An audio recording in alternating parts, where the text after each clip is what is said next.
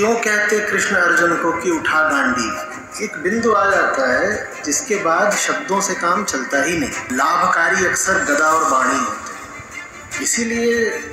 गीता उपनिषदों से अधिक प्रभावकारी रही है प्रसिद्ध और प्रचलित रही है गीता ज़रा ज़्यादा धरातल पर है